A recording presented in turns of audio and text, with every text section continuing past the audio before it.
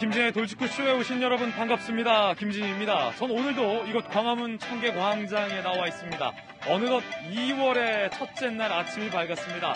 그런데 오늘 하늘 당장이라도 비가 쏟아질 것처럼 깜깜하기만 합니다. 오늘 뜨거운 이슈는 바로 이겁니다. 어, 산업부 공무원이 급하게 지웠다는 문건 속에 북한의 원전 건설을 추진한다는 문건이 있는 것으로 알려져서 논란이 거셉니다.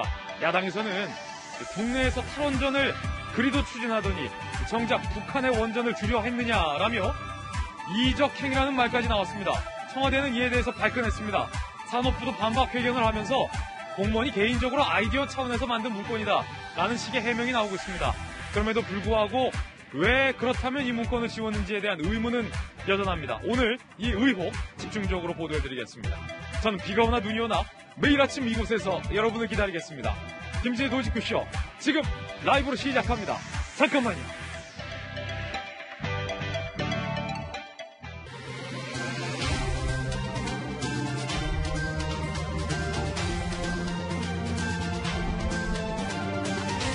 신문 읽어주는 남자입니다. 뽀요이스, 북원추. 이게 다 도대체 무슨 얘기일까요? 동아일보입니다. 김정은에게 건넨 발전소 USB 2018년 1차 남북 정상회담 당시입니다. 여당에서는 그 USB 주말 세입 받는데 원전 내용은 없다라고 밝혔고 야당에서는 정말이냐 내용 밝혀라 라고 공세를 하고 있습니다. 평화의 집에서 문 대통령이 김정은에게 전달했던 그 USB에는 뭐가 담겼을까?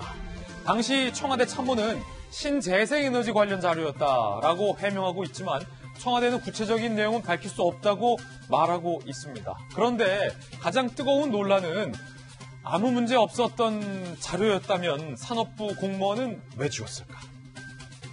자, 이 물음에 대한 제대로 된 답변이 아직은 나오지 않고 있습니다. 집중적으로 보도해드립니다. 다음 신문입니다. 이번엔 경향신문입니다. 불가능한 북원전 경향신문은 정치 공세가 선을 넘었다라고 야당의 공세를 비판하고 있습니다.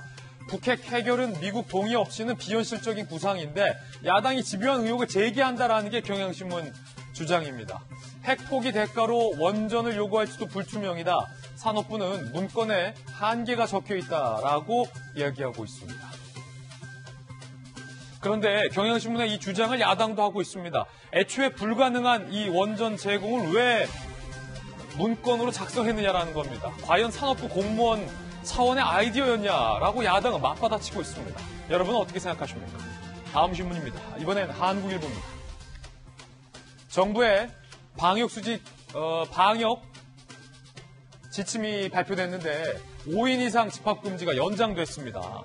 아, 다소 기대하셨던 분들에게는 아쉬운 소식일 텐데 설 연휴에도 직계 가족이라도 5인 이상은 안 된다는 겁니다. 한 주소지에 등록 등본상 기재되어 있는 가족 아니면 부모님 집 찾아뵐 수 힘들어진다. 5인 이상이면 정세균 총리는 아쉬움을 표현하면서 백신 접종 3월 계약 차질 없이 이루어져야 일상이 회복된다 라는 말을 밝혔습니다. 다음 신문입니다. 이번엔 중앙일보입니다. 잠시 후에 윤석열 검찰총장이 박범계 장관을 만납니다. 그런데 오늘 중앙일보 보도가 흥미로운 보도를 했습니다. 윤석열 총장 측이 박범계 장관에게 이성윤 중앙지검장을 교체할 것을 요구했다는 겁니다. 그런데 청와대는 유임 기류를 보이고 있다. 사실상 거절이다라는 분위기라는데 과연 아, 이 기사대로일까요? 잠시 후에 윤 총장이 박 장관을 만나서 뭐라고 밝힐까요? 현장에 카메라 나가 있습니다. 잠시 후에 보도해드리겠습니다. 지금까지 신문 읽어주는 남자였습니다. 2월 첫날 오늘 아침 저와 함께 등판한 등판 선수 소개하겠습니다. 저희 돌직구 쇼에 어, 전담으로 출연하고 있는 스탠포드에서 박사학위를 받고 온 김수경 박사님 나왔습니다. 바르다 박 선생, 박정화 전 청와대 대변인 나왔습니다. 정치 컨설팅기 제갈 공명 윤 선생, 윤태곤 실장 나왔습니다. 전직 청와대 출입기자 출신의 베테랑 기자 이재명 부장 나왔습니다. 모두들 어서 오세요. 네, 오늘의 키워드 세 가지 준비했습니다. 하나씩 살펴보죠. 먼저 첫 번째 키워드는 뽀요이스. 도대체 이게 다 무슨 말일까요? 두 번째 키워드는 1대1. 금태섭 전 의원이 안철수 대표에게 나랑 먼저 맞붙자. 이랬습니다. 2주 더 설 연휴에도 5인 이상 못 모입니다. 김재 돌직구쇼 오늘 톱 뉴스 특별하게 영상으로 만나보시죠.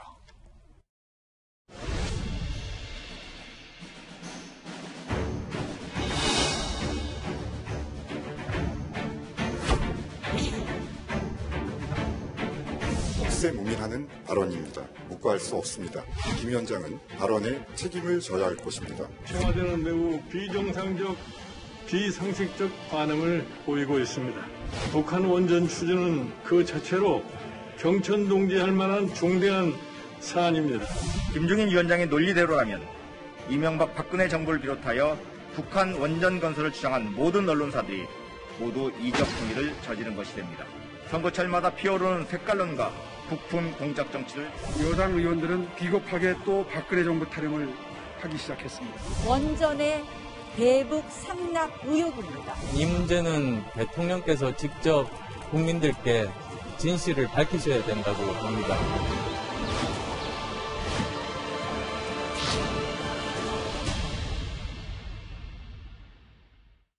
야당의 비대위원장부터 범야권의 안철수 대표까지 청와대를 공격하고 나섰습니다. 이에 대해 문재인 대통령가 직접 나서면서 정치 반박과 공방이 이어지고 있습니다. 오늘의 톱뉴스 주제는 바로 이겁니다. 북한 원전이라는 아이디어. 종국엔 이 원전이 누구 아이디어냐라는 것에 따라서 국면은 달라질 것 같습니다. 문제는 산업부 공무원이 황급하게 지웠다는 그 파일 속에서 뽀요이스, 이뭔 말일까요?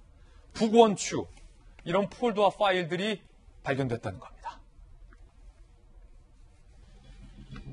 북한의 원전을 지어주는 것을 추진했다?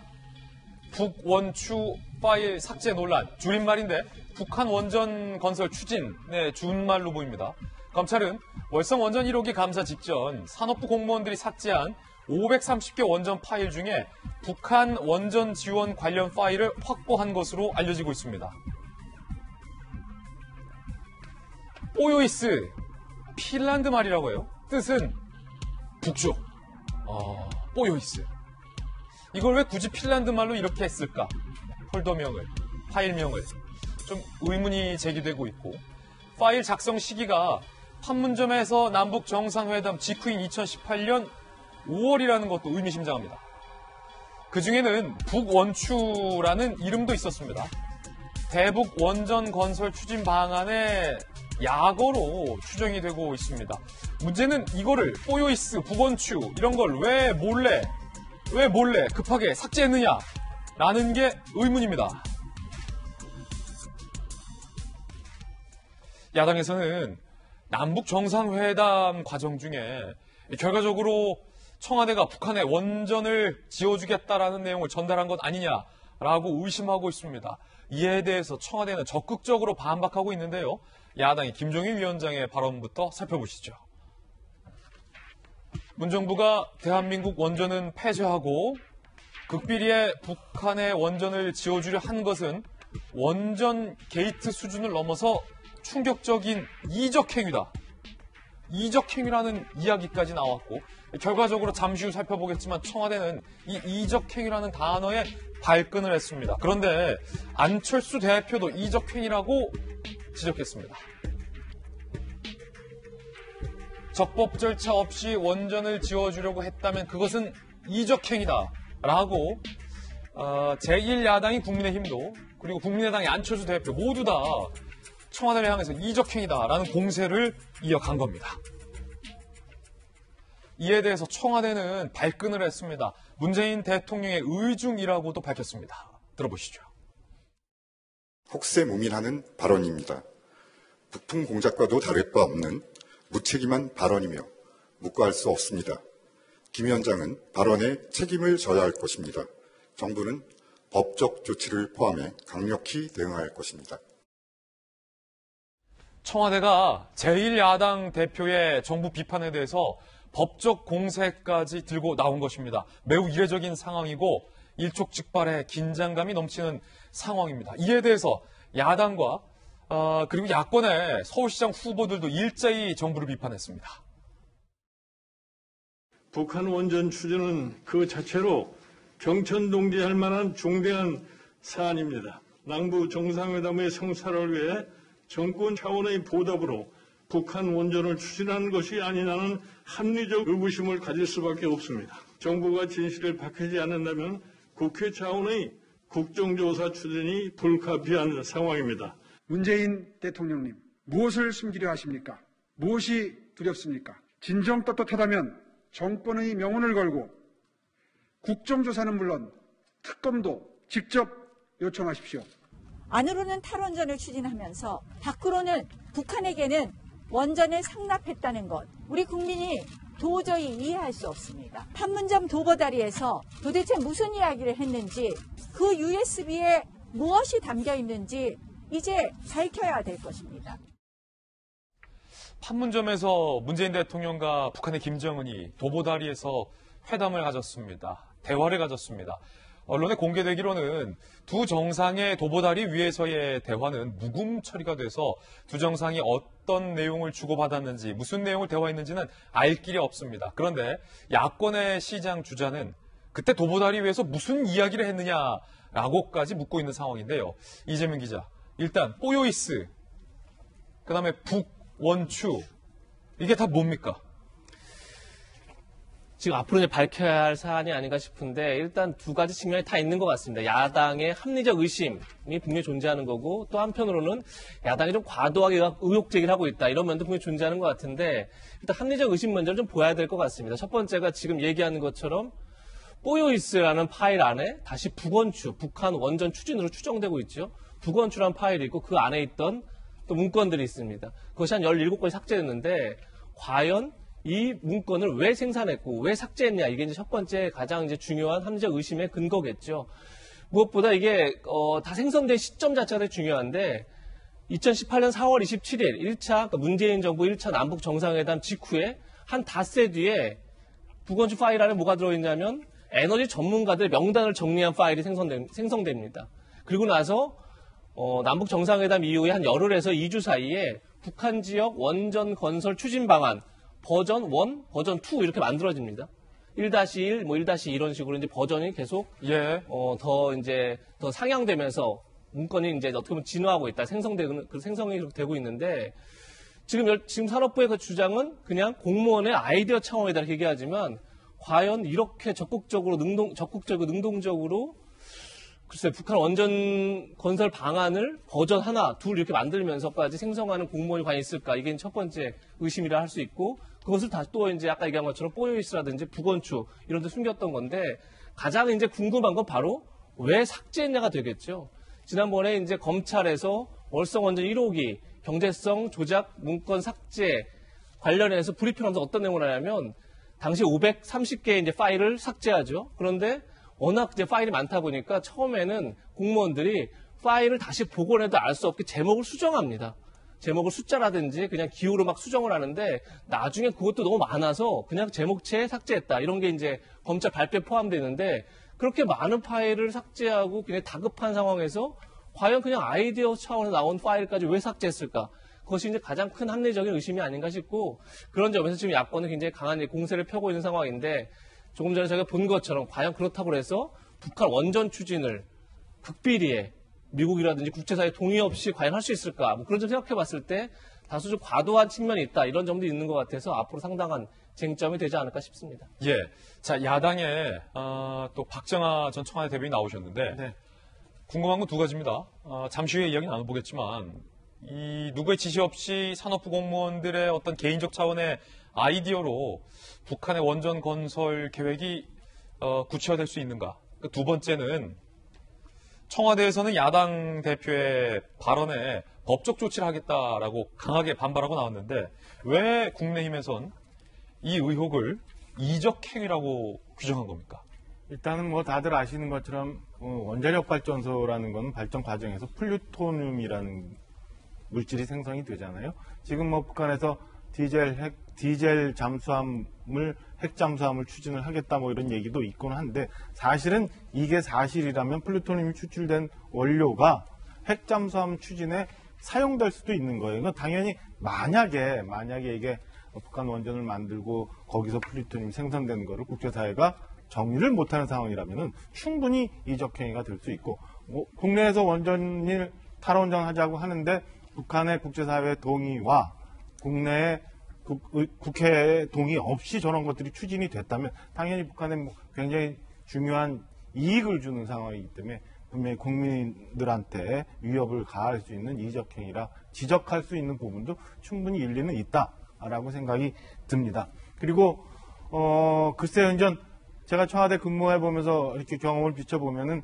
사실은 각 부처에서 일어나는 일들이 수시로 청와대와 교감을 하면서 이루어집니다. 그리고 뭐 완성된 문건이 아니더라도 안에서 검토가 됐던 일들을 부처에서 좀 검토해서 보고서를 올려달라는 일들은 수시로 있거든요. 그리고 이 건에 대해서 대통령이 계시거나 아니면 뭐 비서실장 주재회의거나 그래서 오고 가는 얘기들이 굉장히 많아요. 저희가 공식적으로 발표되는 거 외에. 예. 그렇다면은 남북 정상 역사적인 남북 정상회담이 있고 이후에 또 다시 남북 정상회담 그다음에 미국까지 포함한 3자 정상회담을 앞두고 있는 상황에서 산업부 공무원 자체가 개인이 저렇게 엄청난 일을 그냥 그냥 검토 아이디어 차원에서 어, 할 수 있느냐라는 거에 대해서는 어, 충분히 야당으로서는 의문을 가질 수밖에 없는 상황이라고 봅니다. 여러 가지 논란이 있지만 사실은 이 건은 제가 볼 때는 투명성이 제일 중요한 관건이라고 보여져요. 그러니까 당시 있었던 산업부 문건이 어떤 건인지 그리고 청와대에서는 이게 어디까지 보고가 됐는지 그리고 당시에 북한과의 오고 갔던 얘기 그 다음에 청와대가 검토해서 산업부에 지시했던 얘기 이런 것들을 사실은 다 그냥 투명하게 공개를 한다면 공개를 한다면 이런 논란이 없어질 수 있는데 청와대도 어제는 그 법적 대응한다고 야당 비- 비상대책위원장한테 공개적으로 얘기를 하고 그 다음에 산업부도 해명을 하면서 전혀 문건에 대해서는 공개하지 않겠다 라고 해서 사실은 의혹이 굉장히 커져가고 있는 상황인데 저는 뭐 투- 투명하게 모든 문서를 공개를 한다면 해결이 다 될 수 있는 문제라고 보여집니다. 어, 박정하 대변인의 어, 떤 야당의 시각을 반영한 견해였는데요. 국내 탈원전 어, 압박이 굉장히 거셌을 시점에 정작 북한에는 원전을 지어주려 했다라는 문건 그 시점이 지금 논란이 되고 있는 겁니다. 청와대와 산업부는 각각 반박을 했습니다. 이 의혹에 대해서 산업부가 반박한 내용은 이렇습니다. 2018년 4월 27일 남북 정상회담 이후 각 부서별로 다양한 아이디어를 검토했다. 에너지 분야 협력 아이디어 차원의 산업부 내부 자료로 확인된다라고 부인을 했습니다. 그러면서 여당 일각에서 제기됐던 주장, 박근혜 정부 때부터 만들어진 자료는 아니다. 라고 주장을 했습니다. 결국 여당 일각의 그 문건은 박근혜 문건이라는 주장은 사실이 아닌 것으로 드러났고요. 추가적 검토나 외부 공개된 적 없이 그대로 종결, 북원전 건설 극비리 추진 주장은 사실이 아니다라고 밝혔습니다. 자, 결과적으로 산업부 공무원의 아이디어다라는 건데, 윤태권 실장님, 지금 산업부의 적극적인 부인인데, 그럼 왜 그렇게 지- 지웠냐? 지금 이 의혹에 대해서는 자, 산업부가 해명을 하지 않네요. 예를 들어서 무슨 우리도 어릴 때든지 뭐든지 잘못했을 때 너 왜 그랬냐 그러면 이제 말문이 막히는 경우들이 있는데 사실을 뭐 진실은 지금 알 수 없는데 드러난 것들만 보죠. 그럼 이제 산업부의 이 문건을 삭제를 했다. 근데 그 삭제된 문건의 파일이 뭐 북원축, 보여이스 이런 게 있었다. 그리고 그 남북 정상회담 전후로 해서 작성된 거다. 그리고 남북 정상회담 때는 북한이 비핵화에 나선다면 우리가 이런 저런 거 많이 해줄 수 있다라는 걸 이야기한 건 맞고 지금 거기에 대해서는 윤건영 의원 당시 국정상황실장이라든지 이런 데도 뭐 신재생 에너지라든지 여러 가지 이야기했었다라고 말하지 않습니까? 하나씩 짚어보면요. 자, 이거 자체가 이제 팩트이고 양쪽에 공방이 있는데 원전 이야기라는 게 나오는 자체가 이적 행위냐? 저는 그건 아닌 것 같아요. 왜냐하면은 지금 천영우 전 외교안보 수석이나 그 이명박 정부 때 그리고 지금 이제 국민의힘의 국회의원인 조태용 의원 외교관 출신이지 않습니까? 이분들이 항상 이야기한 거 저도 알고 있는 거지 우리가 거의 알고 있는 게 김영삼 정부 때 캐도 때부터 북한이 완전 비핵화를 할 경우에는 원전 같은 것도 해줄 수 있다라는 거는 큰 줄기의 아이디어가 있었던 거예요. 그런 사실이 있기 때문에 이런 언급 자체를 뭐 이적행위라고 할 수는 없다라는 게 이제 첫 번째. 두 번째로는 여권의 이게 대응 같은 게 그러니까 처음에 청와대에서도 아 이거 우리 뭐 법적 대응하겠다라고 하는 거 제가 볼 때는 여당 야당 대표의 저런 발언이 정치적으로 뭐 비난의 대상이 있을, 될지 모르겠는데 법적 대응의 대상이 되기는 어려워 보이고 그다음 두 번째는 이런 거지 않습니까? 박근혜 정부 때 만들었다.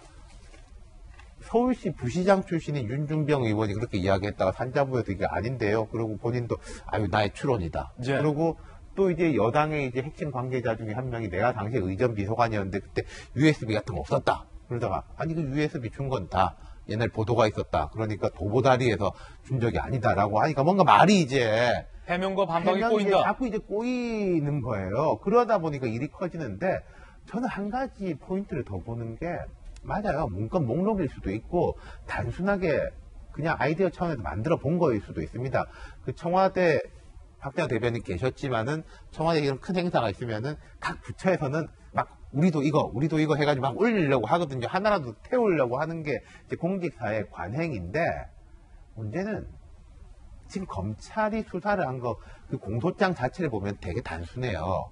이러 이러 이렇게 해서 불법적으로 삭제를 했다. 그러면서 첨부 파일 형식으로 문건 제목만 쭉 달아놓은 건데 제가 약간 여기서 이제 복잡하게 보는 것은 과거 적폐 청산 수사라든지 이런 부분 때 보면은 부처라든지 청와대에서 문건 목록 쫙 나온 거 가지고 봐라 이런 게 있지 않냐라고 하고 그 당시에 있었던 사람들은 아니 이건 그냥 아이디어이고 그냥 한 것이다라고 했는데 여당이라든지 청와대도 그 무슨 소리냐 다 수사해야지라고 해서 이제 검찰이 샅샅이 수사를 해가지고 뭐 무죄 난 것도 있고 유죄 난 것도 있고 스스로 목숨을 끊은 사람도 있고 그렇게까지 왔지 예. 적폐 수사 때 그랬다. 지금 그게 사- 뒤집어 놓은 듯한 느낌이에요. 음.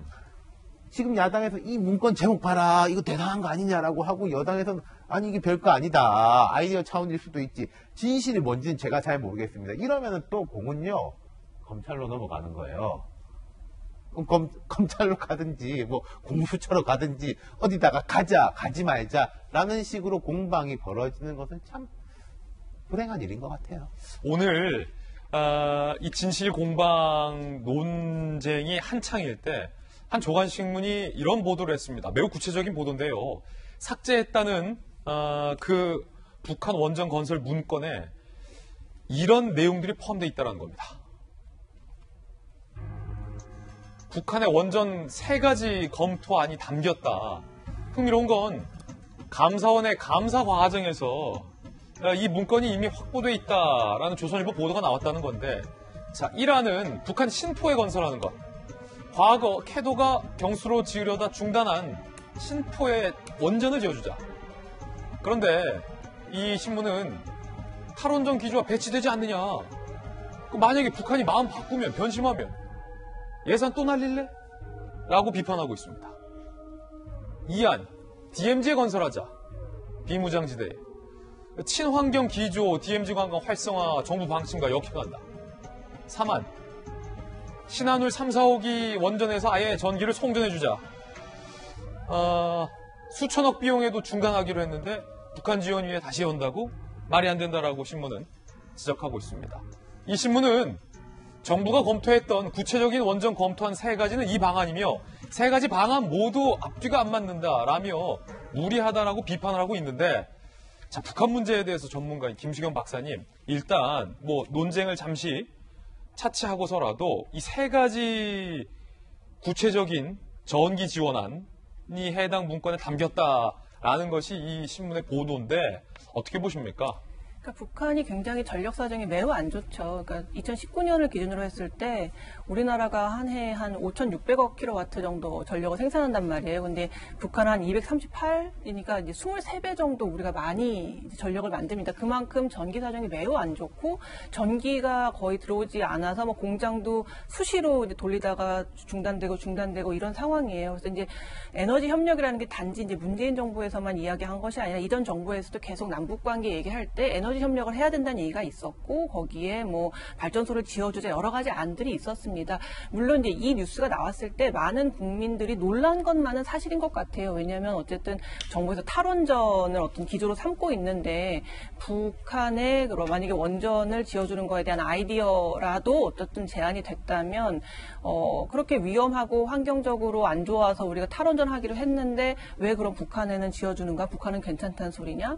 혹은 어, 그 정도 가치 가치가 있으면 왜 우리나라는 그러면은 탈원전 하기로 이제 여러 가지 의문들이 들고 놀랐던 것만은 사실인 것 같은데 그렇다고 해서 이제 몰래 지어주려고 했고 뭐 몰래 상납했다라는 이런 표현 같은 것들은 너무 지나친 게 이게 모르게 진행될 수가 없고 그렇다면 아이디어 정도로 존재하는 거를 우리 이런 거 하고 있어요라고 굳이 발표할 이유도 없지 않습니까? 그리고 북한 문제라는 게 워낙에 현실적으로 불가능한 조건들이 많기 때문에 그런 것들을 다 고려하면 아이디어를 낼 수가 없거든요. 그래서 사실 어떨 때 보면 이 아이디어라는 게 굉장히 현실적으로 불가능해 보이는 아이디어들도 막 제한이 됩니다. 왜냐하면 이 상상력을 엄청 동원해야 되는 영역이라는 것이 바로 이제 북한 남북 관계 이런 거기 때문에 아마 그런 차원에서 아이디어가 이제 제한됐을 텐데 이제 이거를 이제 이적행위다라는 식으로 이제 얘기를 해버리면 너무 이 프레임을 정치적인 이념적인 것으로 확 틀어버리면서 이제 오히려 다른 문제가 중요할 수도 있거든요. 왜 공무원이 그러면 삭제를 했느냐? 그리고 뭐 한수원 이사회에서 원전 폐쇄 결정하기 전에 이미 뭐 그것이 청와대에 보고됐다는 협 그런 이제 어떤 의혹들이 제기되고 있잖아요. 이런 굉장히 더 중요한 의혹들이 오히려 가려지고 증명도 안 되고 뭐 밝혀질 수도 없는 이게 부풍이다 아니다 뭐 이적행위다 이러한 소모적인 논쟁으로 옮겨가는 것은 어, 국민의힘에게도 그렇게 어, 좋게 작용하진 않을 수 있다라는 생각이 듭니다. 예. 그래서 두 가지를 짚고 싶은 게 있는데요. 저 김수경 박사님 말씀에 대체로 이제 수긍하는 편이에요. 좀 지리한 공방으로 갈 가능성이 높다. 아주 세세한 것들, 뭐 USB를 거기서 안 주고 저기서 주지 않냐, 뭐 이런 것들 공방. 그리고 어떻게 보면은 조선일보에 세 가지 이제 그 문건에 대해서 취재를 하면서 이게 앞뒤가 안 맞다. 그것은 오히려 야당의 주장에 힘이 빼는 이야기일 수가 있어요. 앞뒤가 딱딱 맞으면 청와대에서 이렇게 지시했고 이 원전 이렇게 하고 저렇게 하고 하면 봐라 이게 일관적으로 이렇게 북한에다 해주려고 했다라는 말이 되는데 이셋다 이제 좀 앞뒤가 안 맞는다는 자체가 아이디어 차원에서 나왔을 가능성이 있다. 그리고 제가 좀 한 가지 더 이건 제 추론의 영역인데 저는 이 여기서 보면은 공무원들의 고충이 되게 느껴진 게 있었어요. 이게 원전 정, 정책과 원전 산업과의 문건이지 않습니까? 탈원전으로 가라고 해요. 청와대하고 전체 분위기는. 이제 뭔가 원전 정책과에서는 남북 관계가 됐건 뭐가 됐건 원전을 어떻게 좀 살려서 가보겠다. 우리의 뭐 산업적인 부분도 있고 원전 업계도 있는 거고 하니까 그런 아이디어라도 한번 내보려고 한 게 아닌가. 그게 이제 맞물려 가지고 꼬여 버리니까 이게 국가, 저기 뭐야. 감사원에서 감사는 들어온다고 하지. 이것저것 다 섞여 있으니까 우르르 삭제를 하다가 이런 식으로 이제 꼬리가 잡힌 게 아닌가. 이건 뭐 저의 추론의 네. 영역입니다만은 이제 그러하고 그래서 되게 복잡하고 답 없는 식으로 전개가 될 가능성이 저는 좀 높아 보여요. 박정현 대변인 청와대에 계셨으니까 여러 개인들의 의견이 지금 조금씩 다 다른데 자 청와대의 설명도 충분치 않고 야당의 주장에도 근거가 더 필요하다라는 의견은 어, 의견은 뭐 공통적인 것 같은데 청와대에 계셨으니까 산업부 공무원의 아이디어라고 하기에는 신포, DMZ, 신한울 어, 산업부 공무원 국장 밑에 공무원 몇 명이 어, 만들어서 실행하는 규모의 아이디어 수준인가 첫 번째. 그 두 번째는 별거 아닌 아이디어라면 왜 지었느냐? 우르르 지어진 거냐? 의도적으로 지은 거냐? 일단은 그 산업부 담당 공무원 내지는 그 일개 과에서 검토하기에는 너무 상태가 커요. 규모가 너무 크고 그것이 갖고 올 우리 사회의 충격이 너무 크기 때문에 저는 뭐 일개 공무원이 했다 그리고 문서를 공개할 수 없다라고 얘기하는 산업부와 청와대의 주장을 고지고대로 믿을 수는 없다고 저는 보여집니다. 그래서 이 관련된 어, 업무의 연락관계, 그 다음에 당시 청와대가 검토했던 얘기 이런 거 다 검토가 되고 공개가 돼요. 투명하게 공개가 돼야 지금 여러분들이 말씀하신 이 지리한 공방 혹은 뭐 야당이 과하게 대응했다 이런 것들이 해결이 될 수 있다고 보여집니다. 그래서 단순히 이게 무슨 뭐 정치적 공방으로 가니까 어, 그만해야 된다 아니면 너무 과한 얘기다 그리고 뭐 우리가 탈원전 하자고 그랬는데 북한에 원전 주는 게 이상하다라고만 묻어둘 일은 저는 아니라고 보고요. 이게 지금 사실은 뭐 빙산의 일강 내지는 입구로 들어가는 문제라고 보여지는데 뭐 선거를 앞두고 야당이 이렇게 지나치게 정치 공세를 한다. 혹은 뭐 우리는 탈원전 하기로 했는데 왜 북한에 원전 주느냐 단순히 이 문제만 끝난다고 저는 보여지지 않아요. 지난 몇 년 동안 북미 관계, 그 다음에 한반도 내에서의 남북 관계에 있어서 왜 문재인 대통령은 그토록 무엇 때문에 어, 북한에 무언가 숙제를 못하고 있는 듯한 느낌이 있었는지, 그리고 지금 우리와 미국과의 관계에 있어서 왜 한반도 문제를 미국과 의견이 좀 다른 듯한 느낌을 계속 받고 있는지, 과연 그렇다면 그때 당시 몇 년 전에 북한 김정은 위원장과의 논의 과정에서 우리는 국민들이 알지 못하는 그다음에 국회가 동의하지 않은 어느 선까지가 얘기되고 있었는지에 대한 이제 시작이 저는 된다고 말. 그렇기 때문에 지금 이 건이 단순히 그냥 뭐 우리는 원전 안 하기로 했는데 왜 북한에 원전 주기로 했느냐, 혹은 뭐 선거 앞두고 뭐 했느냐, 야당의 공세가 과하다라고 치부하고 끝낼 일은 아니라고 보여집니다. 그냥 지리하게 계속 공방할 일도 아니고요. 빨리 이 문제를 종결할 수 있는 거는 그리고 청와대가 얘기하는 것처럼 전혀 문제가 없고 떳떳한 일이라면 저는 문건 공개하면 되고 그동안 있었던 연락관계 다 확인하면 되고 야당이 얘기하는 국감 내지는 특검까지도 받아서 빨리 종결시키는 것이 이 논쟁을 없앨 수 있고 그다음에 추가적인 우리 사회가 또 다른 비소모적인 어, 소모적인 논쟁으로 빠져들어가지 않는 그런 방안이라고 저는 생각을 하기 때문에 지금이라도 저는 청와대가 뭐든지 다 공개를 하고 혹은 국회에서 하자는 요구가 있다면 야당이 하자는 진실을 파헤치기 위한 요구가 있다면 저는 저, 더 적극적으로 받아들이는 게 맞다고 저는 생각을 합니다. 어쨌든 야당에서는 이 의혹을 갖고 이적 행위에 해당할 수 있다라고 공격하고 나섰고 청와대도 문재인 대통령의 의중을 반영해 야당 음, 대표의 발언을 법적으로 문제 삼겠다라고 정면으로 충돌하고 있는 상황입니다. 산업부가 해명을 내놨는데 왜 그 자료를 지웠는지에 대한 어, 충분한 설명은 나오지 않고 있는 상황이어서 논란은 계속될 것으로 보이는데 문재인 대통령이 그때 도보다리 회담에서 줬든 판문점에서 줬든 김정은에게 줬다는 USB까지 논란이 번졌습니다. 김정은에게 준 USB 거기에 도대체 뭔 내용이 담겼냐? 뭐냐 USB 이거죠. 정상회담 당시 문재인 대통령 도보다리 회담 중에 발전소 문제라는 입모양이 포착됐다는 보도도 나왔었습니다. 뭐 진위 여부는 청와대가 음성을 공개하지 않았기 때문에 알 수 없고요. 북한 전력을 논의하는 것 아니냐라는 주장도 제기됐고 2018년 4월 30일 청와대가 그때 당시 문 대통령이 구두로 어, 발전소를 논의한 적은 없지만 김 위원장에게 신경제 구상을 담은 USB를 건넸다. 라고 청와대 스스로 USB를 건넸다라고 밝힌 바 있습니다. 2018년에. 야당에선 그 USB 내용 좀 보자. 청와대에선 어, 공개할 수는 없지만 원전은 아니다. 라고 주장하고 있습니다. 윤건영 의원은요, 신경제구상 포괄적 내용이 담겼을 뿐 원전에 원도 들어가 있지 않다라고 주장하고 있는 상황입니다. 그런데 북한 김정은의 신년사 내용을 찾아보던 중, 어, 저 정상회담 이후의 신년사에서 김정은이 원자라고 언급한 대목도 있었습니다. 함께 보시죠. 나라의 전력 문제를 풀기 위한 사업을 전 국가적인 사업으로 들어주고 조수력과 풍력, 원자력 발전 능력을 전망성 있게 조성해 나가며 도시군들에서 자기 지방의 다양한 에너지 자원을 효과적으로 개발 이용하여야 합니다. 자, 물론 김정은의 저 발언, 김수영 박사님, 북한이 뭐 워낙 전기 사랑이 열악하기 때문에 화력이든 원자력이든 뭐든 해서 좀 전기 좀 만들자. 라는 취지의 발언일 수 있겠습니다만 오늘 한 조간신문은 어, 이 USB를 건넨 시점 이후에 김정은의 신년사에서 등장했다가 또 최근에는 원전 문제가 없어졌다. 뭐 이 사실을 좀 주목하던데 어떻게 보십니까?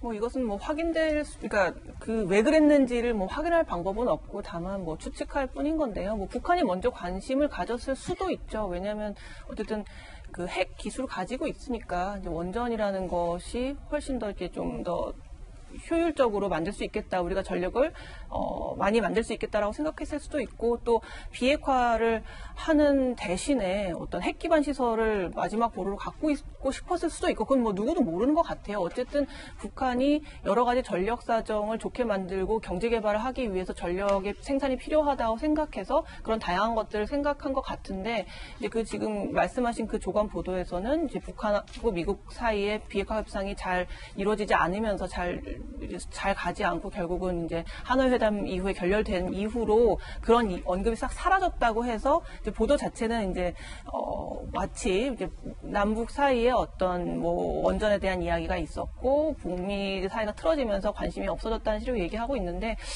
모르겠습니다. 확인은 안된 사실이고 뭐 제 생각에는 뭐 여러 가지 다각도로 그때 막 북한도 어떻게든 이제 협력해가지고 남북 관계, 북미 관계 좋게 해서 개방도 하고 개, 개발도 하고 이런 것들을 모색하던 시기이기 때문에 여러 가지 그러한 가능성에 대해서 희망을 갖고 언급한 것이 아닌가 생각이 듭니다.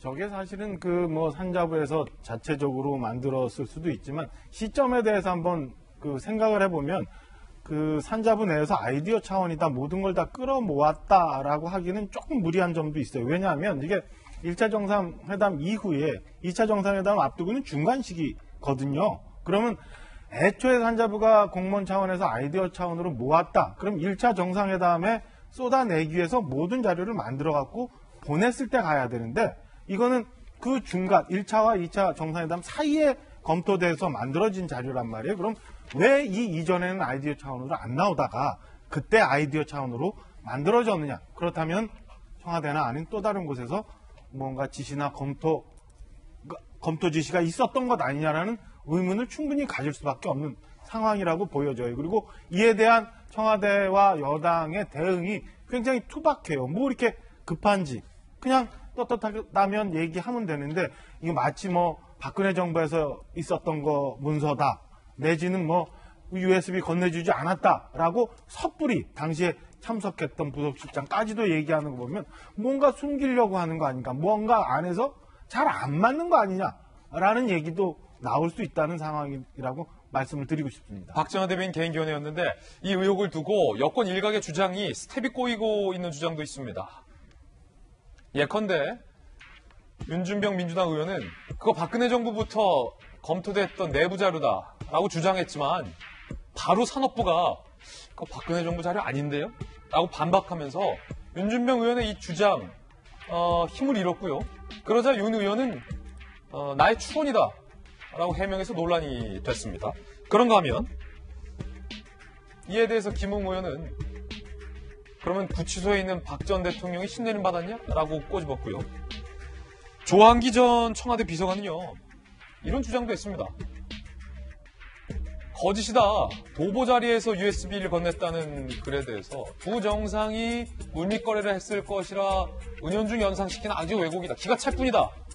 하지만 청와대 스스로가 USB 건넨 거 맞다라고 과거에 밝힌 내용이 알려지자 조한기 비서관은 아, 도보다리에서 건넸다는 게 아니라는 지적이었다.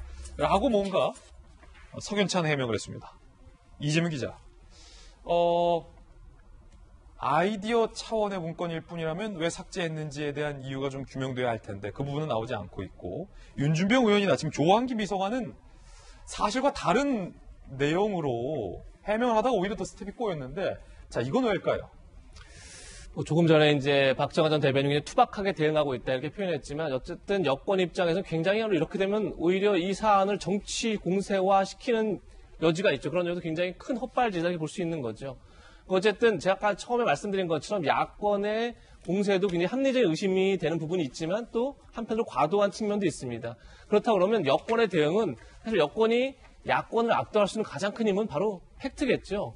팩트를 얘기하면 사실 지금 팩트를 알 수 있는 건 여권뿐인 거고 야당은 어떻게 보면 언론의 보도를 가지고 지금 의혹을 제기한 입장이기 때문에 어떻게 보면 팩트를 가지고 야권의 공세를 무마시키고 제압해야 되는데 지금 조금 본 것처럼 윤준병 의원처럼 뭐 박근혜 정부 때 문건이다. 그런데 바로 산업부가 그렇지 않다. 사실 문건의 생성 자체가 2018년 5월달 됐다는 게 문건 자체에 나타나 있죠. 그런 점에서 저런 주장을 왜 했는지 알 수 없고 조한기 전 비서관도 마찬가지로 이미 USB에 건네였다는 건 당시 2018년도 1차 남북 정상회담 때 다 알려진 사실이고 그 USB 안에 발전소 관련 내용도 있다는 것도 사실 자- 당시 청와대가 브리핑했던 내용인데 저걸 부인하면 오히려 더 여권이 뭔가 숨기려고 하는 게 아닌가 이런 인식을 줄 수 있기 때문에 저는 헛발질을 굉장히 여권 입장에서는 이 공세를 오히려 야권에 힘을 실어주게 만드는 그런 측면에서 굉장히 부적절하다는 생각이 들고 전저 논란과 무관하게 그래도 불구하고 지금 어, 김정은 위원장이 건네진 게 40쪽짜리 PT가 담겨 있는 이제 USB라는 거 아니겠습니까? 그 안에는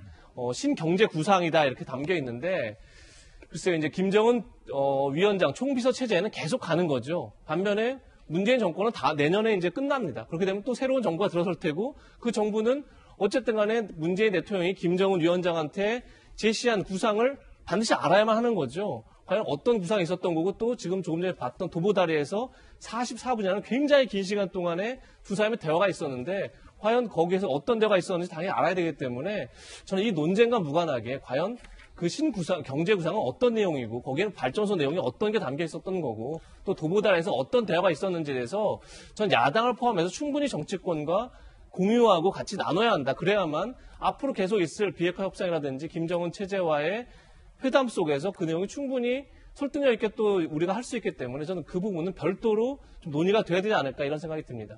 자, 양측의 설명과 주장에도 불구하고 공무원이 왜 그 파일을 지웠느냐와 관련된 의문은 여전히 남아 있는데 잠시 후에 이 내용은 2, 3할로 라방에서 집중적으로 다뤄보겠습니다. 아직은 어느 한쪽으로 단정할 수 없다는 말씀도 덧붙입니다. 이번에 저희가 준비한 두 번째 이슈입니다. 저희 채널A의 단독 취재로 어, 논란이 불거진 이용구 법무부 차관의 택시기사 폭행 그리고 경찰의 석연치 않은 내사 종결 논란이 거세지고 있습니다. 특히나 저희들이 추가적으로 취재한 내용에 따르면 어, 그 블랙박스 영상에 택시가 움직이는 장면이 포착되어 있다. 명백한 운행 중으로 볼 수 있는 대목이어서 향후 논란이 될 것으로 예상이 되고요. 저희들과 만난 택시 기사가 블랙박스에 뭐가 담겼는지에 대해서도 증언을 했습니다. 물론 택시 기사의 주장이라는 겁니다. 박건영 기자가 취재했습니다. 검찰에서 참고인 조사를 받은 택시기사. 검찰은 조사 과정에서 택시기사가 휴대전화로 촬영한 37초짜리 블랙박스 영상을 큰 화면으로 천천히 재생하며 폭행 상황을 살펴봤습니다. 채널A와 만난 택시기사는 영상 내용을 상세히 설명했습니다. 지난해 11월 6일 밤 이용구 차관이 사는 아파트에 도착해 여기 내리시면 되냐고 묻자 이 차관이 욕설과 함께 멱살을 잡는 장면이 담겨 있다고 했습니다.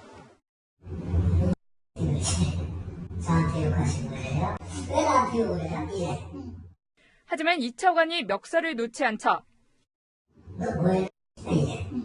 내가 택시기사, 택시기사예요. 이래. 그러니까 이제 그때 먹어. 내 신고합니다.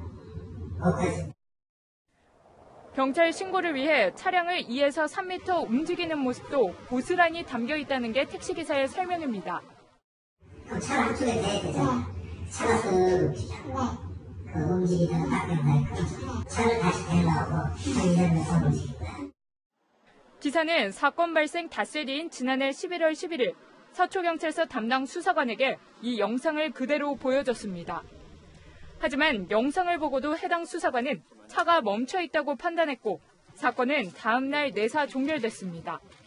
서울경찰청 관계자는 37초 영상에 차가 움직이는 장면이 담긴 게 사실이냐는 질문에 진상조사를 마친 뒤 종합적으로 판단해 말하겠다고 밝혔습니다. 채널A 뉴스 박건영입니다. 이용구 차관 어, 폭행 사건 그리고 경찰의 이 사건 처리 방식과 관련해서 어, 저희 취재진과 만난 택시기사는 방금 들으셨던 것처럼 블랙박스에 담긴 당시 폭행 장면에 대해서 재연을 했고, 어, 그와 같은 욕설이 있었다라고 주장을 하고 나섰고, 블랙박스에 택시의 움직임이 포착이 됐다는 겁니다. 어, 그렇다면 윤태곤 실장님. 글쎄, 뭐 언제까지 이게 참 택시가 운행 중이, 운행 중이었느냐, 라는 거를 계속해서 따져야 합니까? 경찰이 뭐 다시 어, 진상조사에 들어가긴 했습니다만. 우리 시청자들은 이거 많이 보셨잖아요. 제 생각에는 팩트는 어느 정도 드러난 것 같아요. 그래요? 그 사실에. 그럼 그 뒤가, 그럼 저 경사가 알아서 저렇게 한 것인지, 지금 경찰 주장처럼 뭐 아무 보고도 없고, 지시도 없고, 혼자서 이게 내사 종결을 처리한 거지. 파출소에서는 원래 경찰서로 올릴 때는 이건 이제 그냥 종결할 수 없는 사안이다라고 했는, 해- 한 것도 팩트. 그리고 종결한 것도 팩트. 그걸로 끝인 건지 아니면 그 윗골이 서초 경찰서 내부에서 뭐 과장이라든지 서장까지 고리가 있는지 아니면 거기서 또 이제 뭐 서울 경찰청 이렇게까지 주요 사건이다라고 해서 보고가 들어간 게 있는지 그거 아니겠습니까? 예. 그러니까 지금 저는 이게 약간 막 자꾸 반복해서 보시면은 오히려 헷갈릴 것 같다라는 느낌도 들어요. 뭐 2미터가 움직였다, 안 움직였다 여기에 대해서 택시 기사가 이미 이야기를 하고 있고 그 경사도 자기가 저런 걸 뭐 본 것은 맞다라고 이야기를 했으니까요. 자, 그렇다면 운행 중이었는데 왜 특가법을 처리하지 않았느냐라는 어떤 본질적인 논란, 그리고 그 경사의 어떤 독자적인 판단이었느냐, 아니면 이 의혹이 불거지고 난 이후에도 경찰이 재조사를 하지 않겠다고 밝혔던 연유는 무엇이냐고 관련된 논란은 어, 여전히 존재하는 건데요. 해당 경사가 이런 말을 했다라고 택시기사가 추가적으로 주장을 했습니다. 어, 지난해 11월 11일 서초경찰서 출석 당시에 블랙박스 영상을 보고 혼잣말로 아 이걸 다시 수사해야 되나? 못 본 걸로 할게요. 라고 했다는 게 택시기사의 주장입니다. 자, 다시 한번. 해당 경사가 블랙박스 영상을 본 후에 아 이걸 다시 수사해야 되나? 그냥 못 본 걸로 할게요. 라고 했다는 게 택시기사 주장입니다. 그리고 아 이거 다시 수사해야 되나? 이게 약간 혼잣말 같았다. 라는 것도 택시기사의 주장입니다. 택시기사는 검찰 조사와 경찰에도 비경사의 혼잣말에 대해 내가 이미 진술했다. 라고 주장을 했습니다. 자, 그런데 미스테리는 해당 경찰은 이 발언을 부인하고 있습니다. 택시기사는 제대로 수사 이루어지지 않을 경우 블랙박스 영상 공개하겠다 밝혔고 경사는 내가 못 본 걸로 하자라고 한 적 없고 택시기사가 오히려 못 본 걸로 해달라라고 했다. 라고 주장이 상충하고 있는 상황. 근데 못 본 걸로 해달라고 하면 못 본 걸로 해줘도 됩니까? 어, 윤태호 시장의 반론은 못 본 걸로 해달라고 아니, 하면 궁금해가지고요, 그냥. 어, 못 본 걸로 해줘도 되느냐? 그 질문까지 포함해서 이재명 기자 혼잣말로 그랬다는 거예요. 야, 영상을 딱 보고서 아, 이거를 아, 다시 수사해야 되나? 이 택시 기자 주장인데 이게 무슨 말입니까? 이 사실이라면 야, 이걸 다시 수사해야 되나? 근데 사- 어쨌든 간에 택시기사의 주장과 또 담당 경찰관 주장이 엇갈리고 있기 때문에 참 어느 쪽이 맞다. 이건 검찰이 앞으로 이제 밝혀내야 할 수사를 통해서 확인하고 또 그것을 밝혀내서 아, 이 사건을 다시 이제 재조사를 어떻게 이제 처리할지를 봐야만 결론이 나겠죠. 근데 어쨌든 간에 지금까지 나타난 현- 나타난 걸 보면 어, 복원된 블랙박스 영상 속에서 택시가 운행 중이었다는 것들이 또 드러나 있고 그런 점에서 사실 운행 중에 그러니까 움직이지 않더라도 어, 승하차 때는 운행으로 본다는 게 특가법의 취지고 그렇다면 당연히 특가법을 적용했어야 되는데 적용하지 않았고 그래서 이제 이 사건이 불거졌던 건데 당시에 담당 경찰관은 또 영상이 있었다는 걸 알았다는 거죠. 그럼에도 불구하고 검찰에서는 경찰에서는 그걸 브리핑하면서 영상이 없고 그리고 뭐 판례들을 봤을 때 어, 내사 종결하는 게 그러니까 특가법을 적용하지 않고 단, 단순 폭행으로 보고 어, 상대가 처벌을 원하지 않아서 내사 종결하는 게 잘못되지 않았다라고 주장했는데 그것조차도 이제 부인되고 있는 상황이죠. 그런 상황 속에서 지금 저런 이제 그 진술들이 나오고 있는 겁니다. 다시 해서 경사는 당시에도 이걸 다시 수사해야 하느냐 이렇게 혼잣말 얘기했다는 거고 그러면서 영상을 못 본 걸로 하겠다 얘기했다는 건데 오히려 지금 택시기사 이건 택시기사의 주장이죠. 근데 경사의 주장 거꾸로 택시기사가 못 본 걸로 해달라라고 했다는 거잖아요. 그 굉장히 상황이 엇갈려서 양쪽이 어떻게 보면 진실 공방 양상으로 치닫고 있는데 저는 뭐 이렇게 가는 것 자체가 굉장히 어, 국민들의 피로감이 커지는 거죠. 사실 누구 말이 맞는지 알 수 없는 상황에서 저는 경찰이 빨리 이 사건을 어떻게 정리할지가 중요하고 좀 필요하다면 블랙박스 영상도 공개를 해서 국민들이 판단할 수 있게 좀 하는 게 바- 맞지 않나 싶고 사실 이제 이렇게 가면 갈수록 이용구 차관도 굉장히 더 고- 곤욕스러워지고 힘들어지기 때문에 저는 검찰이 빨리 이 사안을 좀 종결해야 된다는 생각이 듭니다. 반론. 이재명 기자의 반론. 두 가지인데, 못 본 걸로, 아, 이걸 다시 수사해야 하나. 라는 게 무슨 뜻인지에 대한 답을 안 하셨고, 두 번째는, 양측의 주장이 상충된다고 좀 표현했잖아요. 그런데, 경사의 주장이 맞다라고 하더라도, 윤태곤 실장이 아까 사실 의문 제기한 건데, 못 본 걸로 택시기사가 해달라. 라고 했다고? 결과적으로? 못 본 걸로 친 셈이 된 겁니까? 그 제가 구체적으로 답을 못했던 이유는 사실 이 주장이 진짜 사실인지 자체를 어, 모르기 때문인데 그 진술이 맞다 그러면 당연히 지금 다시 수사를 얘기했다는 자체가 영상을 보니까 운전 중에 명확해지는 거죠. 그럼 당연히 특가법을 적용하게 되면 당연히 상대가 아무리 처벌을 원치 않는다고 해서 내사 종결할 수 없는 거죠. 만약에 이 영상을 보고 나서 그런 판단을 했다 그러면 가- 당연히 경찰이 뭐 위에 어디까지 그 얘기를 했는지 알 수 없지만 경찰이 수사를 제대로 안 했고 이용구 차관을 봐줬다라고 볼 수 있는 근, 거가 되는 거죠. 그런 점에서 이 진술이 맞는지 아마 검찰은 굉장히 예의주시하겠죠. 그렇군요. 또 하나 만약에 택시기사가 못본척 해달라고 하- 하더라도 만약에 이것이 특가법이라면 사실 아무리 상대가 어, 처벌 원치 않는다, 처벌 불원서를 냈다 하더라도 당연히 수사를 했었어야 되죠. 그런 점에서 이 두 발언 자체가 진실이 어느 쪽인지 알 수 없지만 만약 이, 이 말이 맞다 그러면 당연히 이 사건은 검찰, 경찰에서 제대로 수사하지 않았다 이렇게 결론이 나겠죠. 그런 점에서 검찰이 빨리 정리를 해야 된다 이렇게 말씀드렸던 겁니다. 그렇군요. 자, 오늘 한 조간신문이 아, 흥미로운 보도를 했습니다. 당시의 상황이 경찰청에서 중요 사건은 꼭 보고하라라는 지시가 있었다는 겁니다. 경찰은 청와대나 경찰청에는 보고되지 않았다라고 말한 바 있는데요. 지난해 9월 15일 아, 경찰청은 중요 사건 보고를 지시했습니다. 아, 이 조간신문은 이 지침을 어긴 게 아니냐, 그리고 내사중계를 한 게 아니냐라는 문제 제기를 하고 있는데요. 중요 사건 보고 및 수사 지휘 강조 지시 공문이 내려왔습니다. 중요 사건과 사회적 이목이 집중된 사건 등의 중요 수사 사항은 반드시 상급관서에 사전 보고하라라는 지시였습니다. 서울경찰청도 서초소 등 산하경찰서에 수차례 경찰청의 지시를 하달한 바 있다라는 겁니다. 지난해 11월 6일 밤 당시 변호사 신분 이용구 차관 택시기사 폭행 사건은 서초소에 형사 입건되지 않았다. 내사 종결 봐주기 논란이 일었는데 서울 겨- 서초경찰서 간부는요. 당시 차관이 아니라 변호사였기 때문에 중요 사건에 포함되지 않아서 보고 안 했다라고 해명을 했습니다. 하지만 변호사 범죄는 중요 사건이라는 게 법칙의 시각 경찰청 범죄수사규칙 제23조 2항 별표 1 법관, 검사 또는 변호사의 범죄는 보고 및 수사지휘 대상이 중요 사건으로 분류된다라고 이미 분류가 돼 있다는 거. 자, 박정환 대변인. 네.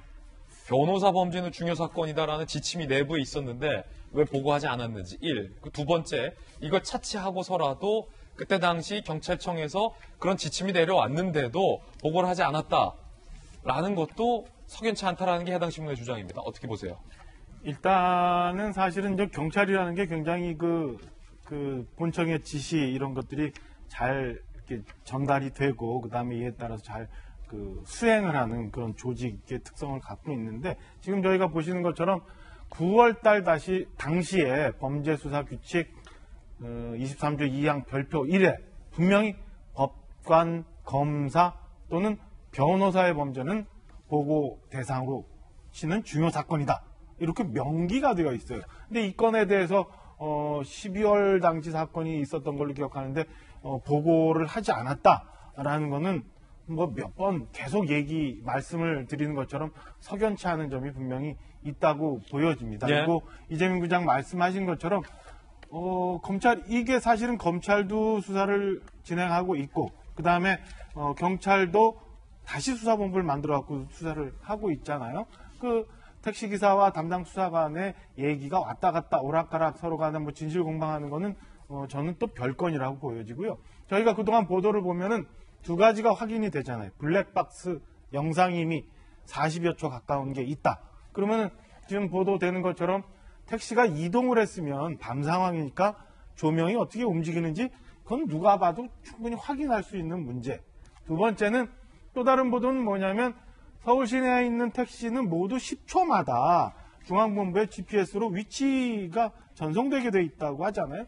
사실은 두, 가, 두 가지만 확인이 되면 이게 택시가 운행 중이었는지 안 했는지는 분명히 나온다고 봐요. 그러니까 그 택시 기사와 수사관 사이에 말이 진실 공방이 오고 가고 하는 건은 별 건으로 놔- 놔두더라도 일단 이게 특가법에 적용이 되느냐 안 되느냐는 저는 이 몇 가지 사실만도 분명히 확인이 되기 때문에 이거는 빨리 정리해서 종결을 하고 그다음에 이게 어느 선까지 보고가 됐는데 정리가 안 됐느냐 왜 이게 지금 경찰청에 지침이 있었는데도 그냥 내사 종결하고도 묻혀지고 그 다음에 블랙박스가 있었는데 이걸 보지 않았느냐 사건 다시 해야 되느냐 못 본 걸로 하느냐 이런 논란이 계속되는지 잘 모르겠어요. 뭐 하루만이라도 이거는 나올 수 있는 건인데 검찰 경찰 글쎄 뭐 봐주겠다라고 외에는 해석할 수 없는 일들이 너무 많이 있다라고 저는 생각을 합니다. 네, 박정환 대변인 견해였는데 택시기사의 주장대로 야 이걸 다시 수사해야 하나? 라고 담당 경찰이 이야기를 했다면 이것은 또 다른 국민이 될 것 같고요. 김수영 박사님, 아, 이 사건 사실 저희 채널A가 어, 앞장서서 보도를 하고 있는 사건이고 채널A의 단독 보도들로 세간에 알려지게 된 사건인데 어, 이 사건의 핵심은 왜 수사와 처벌의 원칙이 일관되게 적용되지 않느냐 이게 문제일 것 같은데요. 이와 유사한 경우에도 특가법을 적용한 사례가 지금 계속 나오고 있다면서요? 이제 신문 보도에 따르면 뭐 예를 들어서 이제 그 운행 중에 시비가 붙어서 정차를 하고 폭행이 일어났을 때 징역형을 받은 경우도 있고요. 당장 지난달만 해도 어, 마스크를 써달라고 택시 기사가 요구를 하니까 어, 폭행이 일어났고 그거에 대해서 경찰은 어, 운행 중이다라고 판단을 해서 비록 그 운전대가 정차, 피, 파킹에 되어 있었지만 이것은 운전 중이었다라고 판단해서 특가법을 적용했거든요. 그래서 이번 사건도 사실 어떻게 보면은 운행 중이었냐 아니냐를 가지고 계속 논란이 많았고 근데 점점 이제 운행 중이었다라는 증거들이 조금 더 나오고 있는 상황이어서 처음에 이 문제가 불거졌을 때 이렇게까지 오래 끌 게 아니라 굉장히 간단하고 명확한 그 범, 뭐, 사안이라고 생각을 했는데 이게 이제 경찰에서 만약에 어, 이게 특가법 사안이 아니다. 파출소에서는 특가법 사안이라고 보고했지만 경찰서에서 특가법 사안이 아니라고 판단했다면 그 왜 그러면은 기존의 어떤 판례와 이런 거와 다르게 이것은 아니라고 판단했는지를 좀 명확하게 설명해 준다면 국민들도 수긍하지 않을까 싶습니다. 네. 자, 이번엔 아, 저희가 준비한 세 번째 이슈를 소개하겠습니다. 서울시장 선거 열기가 여야 할 것 없이 뜨겁습니다. 아, 한 가지 흥미로운 제안이 나왔는데요. 금태섭 전 의원이 안철수 대표를 향해서 그거 자꾸 국민의힘이랑 아, 힘겨루기 하지 말고 나랑 먼저 붙읍시다. 라는 취지의 제안을 했습니다. 함께 보시죠. 국민의당 안철수 후보에게 제안드립니다. 양 당의 경선이 진행되는 기간 동안 단일 후보 선출을 위한 제3지대 경선을 제안합니다. 안철수 후보나 저는 어, 양당이 경선 절차를 하는 동안 그 기간 동안에 저희도 토론을 하고 경선 절차를 거치자는 겁니다. 그러면 1대1 경선이 되겠죠. 자, 이 상당히 흥미로운 국면으로 전개되고 있는데 윤태곤 실장님 이런 전략 능하시잖아요. 봤잖아요. 지금 안철수 대표 입장에서는 김종인 위원장이랑 삿발을 꽉 쥐고 한치의 양보도 없이 삿바 싸움을 하고 있는데 안철수 대표 뒤에서 누군가가 삿바장에 모래를 착 던지면서 거기랑 싸우지 말고 나랑 한번 붙자 이러고 있는 모양새예요. 그게 그렇게 단순하게 볼 건 아닌 것 같고요. 이런 협상이라든지 하는 것은 약간 모호성이 있어야 됩니다. 뭐냐면요. 음. 나만 무조건 유리하고 너만 불리하고 그럼 그 성립이 안 되는 그렇죠. 거죠. 그냥 하나만한 그냥 말인 거죠. 근데 이게 좀 어 잘 모르겠는데 내가 유리할 것도 같은데 라는 게 있을 때 이건 이제 카드로서의 가치가 있는 것인데 조금 막 긴가민가 할 때 더 효과적이다. 저 부분은 제가 생각할 때 좀 가치가 있어요. 그러니까 자, 안 대표 입장에서는 제일 자기가 원하는 것은 국민의힘 그 레이스에 들어가는 거지 않습니까? 뭐 곧 4명 된다고 하는데 4명이 되든 6명이 되든 그 중에 들어가가지고 하는 거잖아요. 그럼 사실 유리하겠죠. 왜냐하면 국민의힘 그 주자들이 쫙 갈라지니까.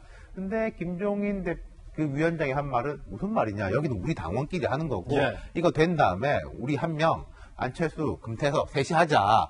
라고 하면은 그 상식적으로 생각할 때 뭐 금태섭의 표가 얼마 될지 잘 모르겠습니다만 안철수, 금태섭 쪽으로 어 반민 비국 민주당은 반대하는데 국민의당은 아, 잘 모르겠다라고 하는 사람들 표가 갈라지고 국민의 힘 그 후보가 유리한 게 산술적인 거잖아요. 예. 그런데 여기서 꺾으면은 이제 갈라지는 게 없어지는 거지 않습니까? 안 대표 입장에서는. 그 포인트는 이제 유리하고. 근데 이걸 한 달 동안, 아유, 금태섭 하고 두 명이서 이렇게 토론 계속하고 하면은 뭔가 내가 조금 삐끗하면 좀 어려울 건데라고 하는 것은 또 머리가 아프고. 그러니까 이 제안이라는 것은 상당히 좀 흥미로운 포인트가 있다는 점이죠. 예. 만약에 금태섭 전 의원이 제안을 안철수 대표가 받아들인다면 이 투트랙으로 각자 경선이 진행되는 겁니다. 국민의힘에서는 뭐 나경원, 오세훈 등 어, 당내에 경선이 펼쳐져서 한 명의 후보가 추대되는 거고 어, 범야권으로 분류되긴 하지만 국민의힘은 아닌 영역에서 안철수 대표와 금태섭 전 의원 간에 아, 경선이 실시가 돼서 이 중에서 또 한 명이 추대가 되고 각자 추대된 한 명끼리 나중에 최종 단일화, 결선, 아, 협상을 하게 된다라는 구상이 이루어지게 된다는 건데 과연 이거 현실될 것인지도 뭐 별도의 문제일 것 같습니다. 이게 상당히 흥미로운 게 어, 박지원 대변인 안철수 대표가 지금 계속해서 국민의힘에게 제안을 한 국면이었어요. 그 문 열어라. 나도 나랑 같이 하자. 그런데 묘하게 그 공세를 안철수 대표가 지금 받게 된 국면이란 말이에요. 금태섭 의원이 나랑 하자. 안철수 대표 입장에서는 어, 안 받는다면 좀 모양이 어, 좀 민망해질 수도 있는 상황인데. 그래서? 어제 안철수 후보가 분명하게 얘기를 못한 것 같아요. 그러니까 뭐 어정쩡하게 할 수도 안 할 수도 뭐 이렇게 얘기를 했는데 저는 뭐 지난주에도 말씀드렸지만은 이 금태섭 후보라는 새로운 변수가 등장을 해서 야권의 단일화 논쟁이 계속 가는 게 국민의힘 입장에서 크게 나쁘지는 않다고 보여지고요. 그다음에 안철수 대, 그러니까 김종인 위원장이 안철수 대표에게 감정 섞인 듯한 발언까지 하면서 막 가는 거에 대해서는 조금 그 좀 과하다라는 느낌도 분명히 있습니다. 그렇지만 이미 국민의힘 내부에서 후보가 나와서 후보 등록을 해가지고 경선이 진행되는 상황에 이 문을 뭐 열어라라고 얘기하는 거는 안철수 후보 입장에서도 좀 과한 요구 아닌가라는 생각도 들거든요. 어쨌든 뭐 당 밖에서 두 후보가 경쟁을 해서 한 선수로 뽑히고 그 다음에 당 내에서도 뭐 경쟁을 해갖고 한 선수가 나와서 야권 단일화를 위한 최종적인 후보를 뽑는다라고 볼 때는 뭐 투표를 해야 되는 서울 시민들 입장에서는 그리고 그 야권이 이겼으면 그래서 문재인 정부가 다소나마 좀 그 지금까지 국정 운영 방향을 남은 기간이라도 정리할 수 있는 그런 바램을 성사시키고자 하는 마음이 있는 시민들 입장에서는 충분히 재밌는 그림이 지금 자꾸 진행되고 있다라는 생각입니다. 어쨌든 어, 우리가 지난주에 아마 동아일보 우리 길진균 정치부장이 쓴 것 같아요. 2월 5일 날 국민의힘 후보가 4명으로 추려지는 그 순간까지 안철수 대표가 1차 고민의 시간에 들어간 것 같습니다. 본인이 제안했던 방식대로 금전 의원에게 제안을 받은 안철수 대표 이렇게 얘기했습니다. 이제 저는 서울시 어떻게 하면 발전시킬 것인가 비전과 공약을 중심으로 서울 시민들과 직접 만나서 어, 설명드리는 어, 그런 자리를 계속 갖겠습니다. 제3지대 단일화 경선 제안했는데 이 제안에 대해서 어떻게 보시는지 말씀 이미 국힘에 제가 어, 제안을 드렸고 이제 내부에서 논의가 진행되고 있다고 알고 있습니다. 야권의 여러 가지 현황들을 잘 어, 살펴보고 말씀드리고자 합니다. 손종희 변호사님, 이걸 몇 번 들어도 그래서 금태섭 전 의원의 제안을 받겠다는 건지 안 받겠다는 건지 좀 헷갈리는데 자, 뭐 법조인은 워낙 어, 시시비비가 명확하시니까 어떻게 드셨습니까? 아직 고민 중이다 이렇게 답을 하신 게 아닐까 생각이 들고요. 새로운 제안이기 때문에 또 심사숙고해서 본인에게 유리한 방식에 대해서 고민을 해야 될 것이고 아예 거절은 아니라는 말씀이죠. 중요한 건 이제 그 대세적인 어떤 여론이 어떻게 형성되는가가 음. 굉장히 중요할 것 같아서 흥행이 도움되는 효과나 이런 것들에 대해서 지금 어, 여러 가지 내부 분석을 하고 있지 않을까 생각이 드는데요. 어, 여권 내부에서는 여러 가지 이제 정해져 있는 룰에 따라서 나오고 있는데 야권에서는 지금 룰이 정해지지 않다 보니까 오히려 더 많은 관심이 있을 수 있는 상황이고 흥행이 도움된다라고 한다면 어, 제안 받아들일 가능성 충분히 있다고 어허. 보입니다. 손정희 변호사님 분석 끝나자마자 조금 전에 기사가 떴는데 안철수 대표가 금태섭 전 의원의 제안에 대해서 연락 오면 만나보겠다라는 기사가 조금 전에 떴습니다. 어, 이것도 좀 애매한데 이재명 기자 국회 반장 출신이잖아요. 그 만날 수는 있죠. 어, 김종인 위원장과 안철수 대표가 이미 만난 바 있는데 만났다고 잘 된 건 아니니까 금전 의원의 이 제안에 대해서 일단은 만나보겠다. 이게 무슨 뜻이에요? 말 그대로 만나보겠다는 뜻이죠. 만나만 보겠다는 만나보겠다는 뜻인데. 만나만 보겠다는 거예요? 저는 이게 뭐, 어, 수학의 정석이 있듯이 경선에 정석이 있다면 금태섭 의원 후보의 제안을 안 대표가 받아들이기 쉽, 아, 거부하기 쉽지가 않죠. 그렇죠. 그런 점에서 어쨌든 지금 뭐 조금 전에 윤태원 실장이 잘 정리해 주셨지만 안철수 대표가 제안한 오픈 경선은 안 대표가 유리한 겁니다. 또 반대로 김종인 위원장이 제안한 나중에 국민의힘 후보가 되고 나면 그 다음에 제3전 다시 하자. 이거는 당연히 국민의힘 후보가 유리하죠. 그런 점에서 결국은 나중에 국민의힘 후보 한 명, 또 제3지대에 단일화된 후보 한 명, 이렇게 두 명이 1대1로 붙는 게 어떻게 보면 가장 합리적이다. 경선의 정석이라 볼 수 있는 거죠. 어. 그런 점에서 저는 금태섭 전 의원의 후보의 제안을 안 대표가 거부하기 쉽지 않다. 이게 첫 번째가 있는 거고 예. 또 하나는 지금까지 안철수 대표가 여러 차례 본인의 단일화 의지가 굉장히 확고하다 이런 점 굉장히 강조했죠. 그런 점에서 계속 국민의힘에 여러 제안을 던졌던 건데 본인의 단일화 의지 가 확고하다는 것을 증명하지 못하면 사실 이제 지- 지금 2월 동안, 그러니까 2월 한 달 동안 국민의힘은 경선할 테고 본인은 어떻게 보면 굉장히 소외된 입장인데 이 시간을 계속 끌고 가기는 좀 힘들다. 그런 점에서 저는 오히려 금태섭 후보와의 단일화가 어, 2월 동안 어떻게 보면 유권자들에게 잊혀지지 않을 수 있는 굉장히 좋은 어. 카드일 수도 있기 때문에 오히려 안 대표를 도와주는 거다. 저는 그런 점, 뭐 안 대표를 도와준다는 의미보다는 본인이 본인의 레이스를 할 수 있는 하나의 장이 만들어지는 거죠. 그런 점에서는 안 대표가 만나보겠다라고 했으면 일단 긍정적으로 보고 아마 금태섭 후보와의 어떤 단일화를 나름대로 구상하지 않을까 좀 개인적으로 전망해 봅니다. 아니 윤태원 실장님, 그한 가지 더. 그 좋아요. 양쪽에서 국민의힘 후보 선출되고 안철수, 금태섭 두 분이 만약에 해서 한 분이 선출된다. 그 마지막에 단일화한다는 구상인데 그 마지막 요게 엉그러질 수 있는 가능성도 있어요.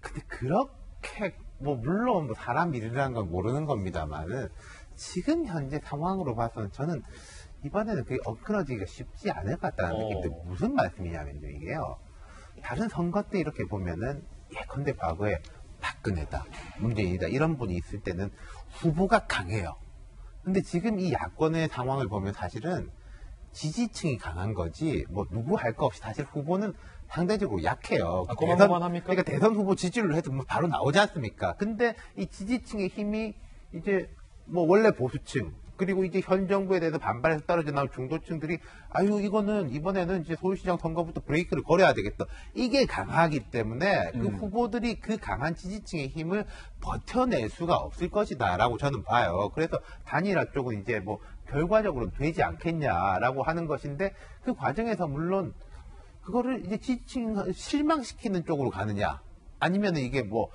크게 이제 화답하는 쪽으로 가느냐라고 봤을 때는 좀 크게 크게 받아들이는 쪽이 유리할 것이다. 요즘 나경원 후보가 기세가 좀 좋지 않습니까? 제가 볼 때 그런 게 있어요. 그거 다 계산해서 나온 말이겠지만은 저는 뭐 다 좋습니다. 뭐 하십시오. 뭐 어떻게든 좋습니다. 물론 이거는 예를 들어 이런 계산이 있겠죠. 안철수 후보에 대한 거는 김종인 위원장이 다 해주니까 나까지 나설 필요는 없겠다라는 계산은 있는데 어쨌든 말이 그렇게 시원시원하게 나왔단 말이죠. 안 대표가 처음에 기세가 높았을 때도 그랬습니다. 나는 하나 낮췄다. 다 양보하겠다. 단일화하겠다. 내가 아니라도 좋다. 라고 했을 때 기세가 좋았었어요. 그럼 그 기세를 지금 이어가야 될 시점에 와 있다는 거죠. 그렇군요. 윤태원 실장님 어떤 분석이었고 이번엔 어, 이 사태를 지켜보는 공관위원장의 입장이 나왔는데 뭐 공관위원장 입장에서는 이래도 좋고 저래도 좋겠죠. 정지석 의원 아름다운 야권 단일화가 어, 연걸어가는 중이다 라고 굉장히 긍정적으로 이 사태를 본다라는 공관위원장의 입장도 나왔습니다. 이번엔 어, 여권의 여권의 경선 소식도 좀 준비가 되어 있습니다. 함께 보시죠. 자, 민주당은 오늘 1일 서울 부산시장 보궐선거 후보 유튜브 국민 면접을 진행한다. 어, 유튜브로 국민 면접하는군요. 당 공천이 질문에 대한 예비 후보들 답변 과정을 생중계한다는 거고요. 국민의힘은 오늘 3일부터 이틀간 여론조사 후 최종 경선 후보 4명을 선출을 한다라는 겁니다. 여당의 박영선, 우상호 두 명의 후보는요. 내가 원조 친문이다. 내가 원조 친노다라고 혈통 경쟁에 나섰습니다. 사실 저는 원조 친문이거든요. 2012년에는 제가 대통령님 모시고 다녔어요. 2012년 대선이 끝나고 나서 우리 해단식 할 때도 정말 막 펑펑 울었죠. 저는 원조 친문은 아닙니다. 저는 원조 친노입니다. 우리는 다 친문이고, 다 친노고, 다 민주당이다. 이 안에서는 서로 구분하지 말자. 이제 저는 오히려 그렇게 말씀드리고 싶고요. 손정인 변호사님, 박영선 후보는 내가 원조 친문이다. 우상호 의원은 어, 나는 원조 친문은 아니야, 원조 친노다라고 얘기했는데 이번 민주당 경선에서 친문이 센 겁니까? 친노가 센 겁니까? 이게 중요한 겁니까? 뭐 같은 표현인데 결국은 민주당 당원들에게 우리 당원들에 대한 지지를 확실시하면서 지금 현재 그 여당과 이제 청와대 당청 관계나 이런 것들에 있어서 협조를 잘 하겠다라는 의지의 표명을 이제 보시면 되지 않을까 생각이 드는데 어 요번 이제 여권 선거를 보면서 한 가지 좀 눈에 띄는 점은 어 네거티브를 하지 않겠다라는 뜻인지는 모르겠지만 통상적인 선거가 시작되면 서로 견제가 굉장히 강화되는데 아직까지는 굉장히 같이 이제 어떤 정견 발표를 한다던가 같은 화면에 나왔을 때 서로 공격하기보다는 서로 어떤 친문 어떤 경쟁을 한다던가 이런 것들을 더 강조하는 면이 보여서 어, 네거티브로 없이 한번 선거를 해보는 것은 또 민주당으로서는 어떨까 그런 생각도 들거, 들거든요. 예. 서울시 같은 경우는 중앙 정부랑 발을 잘 맞춰야 되고 그래야 이제 여러 가지 정책에 대해서 뒷받침해주는 측면도 있기 때문에 그걸 강조해 나가면서 또 후보들끼리는 선의의 경쟁을 했으면 좋겠습니다. 예, 이재명 기자. 그렇죠. 근데 지금은 이제 원조 논쟁을 한창 불러일으킨 어떻게든 박영선 후보라고 볼 수 있겠죠. 이제 지금까지는 어떻게 보면 어, 원조 친문이다 이렇게 분리되지 않았기 때문에 그러다 보니까 박영선 후보가 적극적으로 내가 원조 친문이다 이렇게 강조를 하고 있는데 조금 전에 저희가 봤던 영상 속에서 어, 제목이 뭐였냐면 그 이제 김어준 씨 방송에 나가서 개인 유튜브 방송 나가서 한 건데 박영선의 각성입니다. 제목이.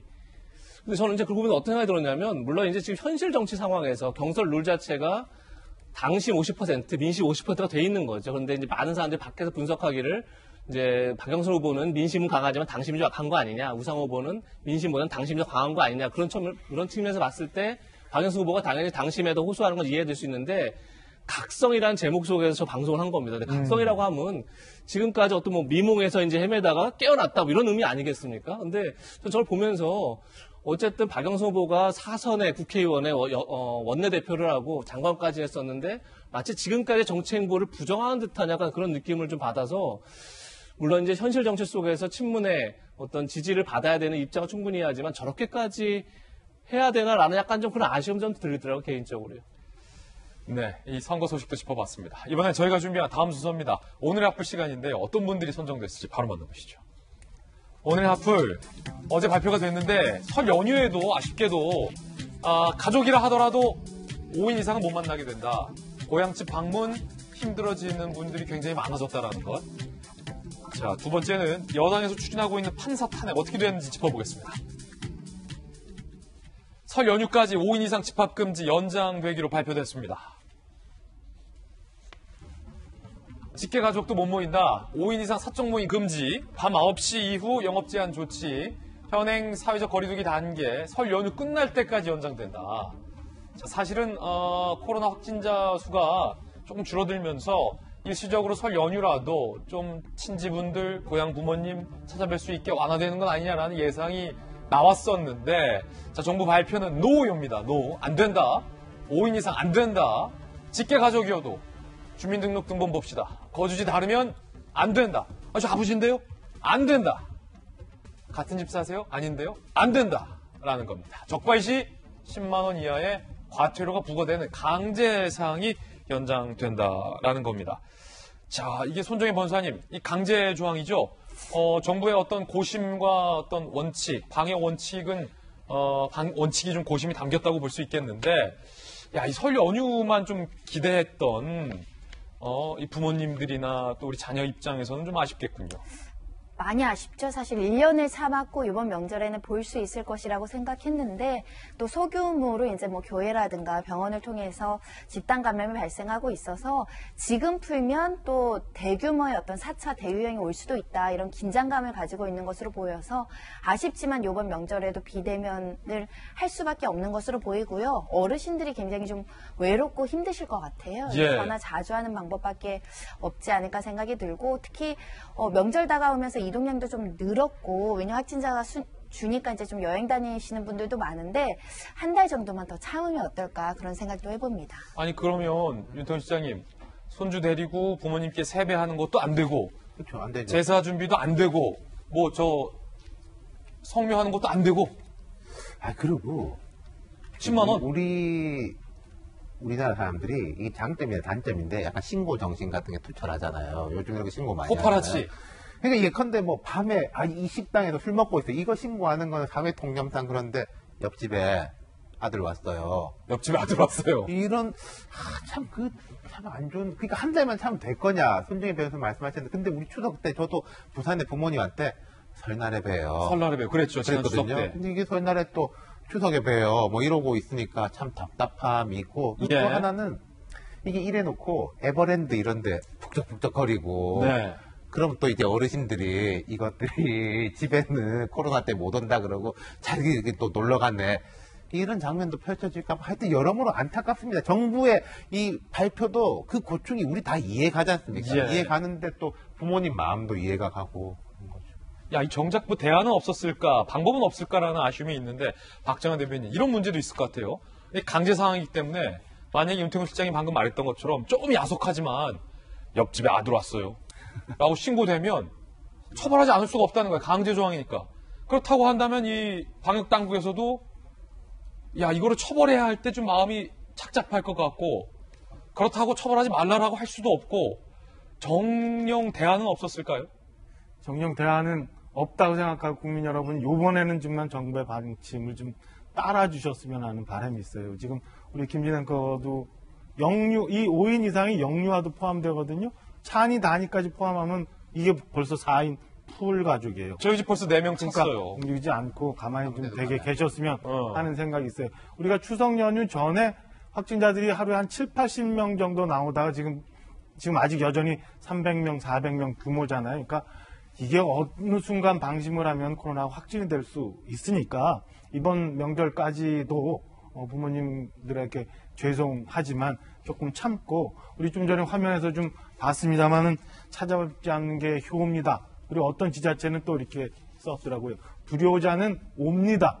그러니까 불효자 되지 않기 위해서라도 그냥 어, 이번 명절까지만 해도 좀 각자 참아서 일단 코로나를 잡고 나서 그 다음에 부모님 찾아뵙고 산소에도 가고 하는 어, 이런 걸 좀 만들었으면 좋겠어요. 그리고 에버랜드도 좀 자제해 주시고 뭐 그런 부탁을 드릴 수밖에 없는 상황입니다. 국내 첫 백신은 화이자. 이르면 설 이후 접종될 수도 있다고 합니다. 코백스 퍼실리티 화이자 백신 2월 중순 5만 8,500명분이 한국에 공급된다. 도착 즉시 접종 시작 예정이라고 하고요. 아스트라제네카도 상반기 중에 최대 219만 명분이 도입될 예정이라고 합니다. 참고하시기 바라겠습니다. 두 번째 앞은 민주당에서 판사 탄핵을 강하게 추진하고 있습니다. 논란인데요. 오늘 임성근 부산고법 부장판사 탄핵 소추안 발의 예정. 그런데 임 판사는 아, 법원에서 이미 무죄를 받았고 또 퇴직을 앞두고 있다. 자, 혐의는 박 전 대통령 명예훼손 재판 개입이 연루됐다라는 건데 무죄 받은 판사를 여당에서 탄핵하는 것이 과연 적절하냐의 논란이 일고 있는 상황입니다. 의결 정족수 150명 이상 의원이 서명. 사실상 당론 발의나 다름없다. 탄핵에 불만 있는 의원도 친문성의 유권자들을 의식해 서명하는 등 대부분 동참하는 분위기다라고 말하고 있고요. 야당에선 이런 여당을 비판하고 있습니다.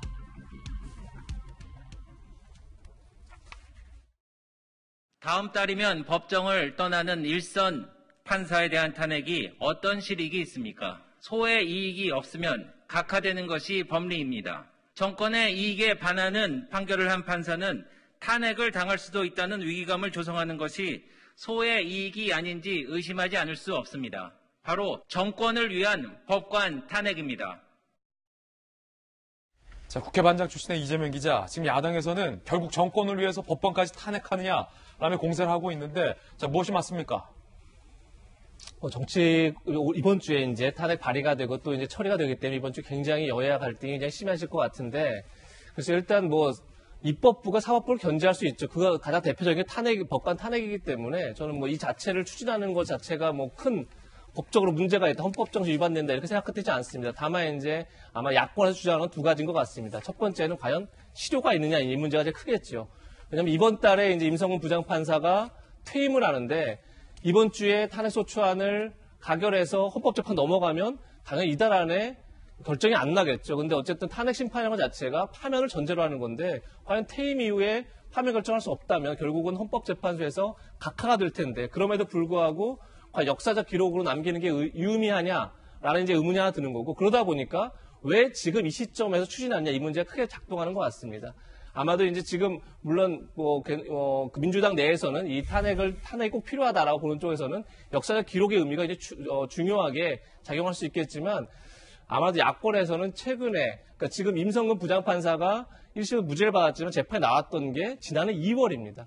그런데 불구하고 이제 1년 가까이 지금 이 사건을 이제 지켜보다가 갑자기 지금 탄핵을 추진하는 게 약간 야권 입장에서는 결국은 최근에 나름 어, 그 사법부의 판단들이 여러 가지 판단들이 결국은 여권에 불리하게 나왔던 것들이 많아, 많이 있었죠. 뭐 최근에 이제 최강욱 어, 의원이라든지 정경심 교수라든지 뭐 김경수 지사라든지 또는 뭐 윤석열 총장의 징계권에 대해서 사법부가 결국은 집행 정지를 이제 결정했는데 이런 여권에 불리한 판결들 때문에 지금 탄핵을 추진하는 거 아니냐 결국 그래서 사법부 길들이기 아니냐 이런 논란까지 번지고 있는 건데 과연 실효적 실효성이 있느냐 그리고 과연 이 시점 왜 추진하느냐에 대해서 보다 여건이 분명한 좀 이렇게 대응이 필요하지 않을까 이런 생각은 듭니다. 네. 자, 두 가지 질문. 왜 이 시점에 추진하느냐, 실효성이 있느냐, 손정희 변호사님, 어떻게 보세요?